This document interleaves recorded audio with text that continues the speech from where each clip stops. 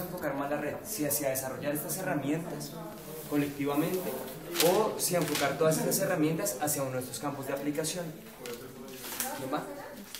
Entonces yo quiero proponer una pregunta para hacer este ejercicio. Ándale. Y esa pregunta es, a la luz de estas posibilidades que tenemos aquí, ¿hacia dónde quiero yo eh, enfocar mi contribución? O sea, ¿qué es lo que yo quiero lograr con esto que hay aquí? Y con la suma de lo, nuestros intereses, entonces podemos saber hacia dónde va este conjunto. Entonces la pregunta sería, a la luz de estas posibilidades, ¿hacia dónde quiero yo enfocar mis esfuerzos?